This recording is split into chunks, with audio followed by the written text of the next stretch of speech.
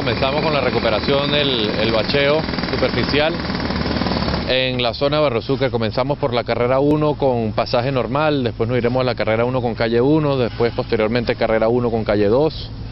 Eh, es un plan que se lleva que se lleva asfaltado desde hace varios meses. Pero el día de hoy, debido al flujo, al alto flujo vehicular de la zona, tendremos solamente 32.7 toneladas para lo que es esta intersección. Luego procederemos a seguir con carrera 1 con calle 1 y carrera 1 con calle 2 alrededor de 200 toneladas más o menos para el sector de Barrio Sucre. En la zona del terminal de pasajeros continuamos con el asfaltado por contrato, por obra contratada. En, el sector de Avenida Rotaria tenemos la recuperación de, una etapa de boca de visita que inexistente.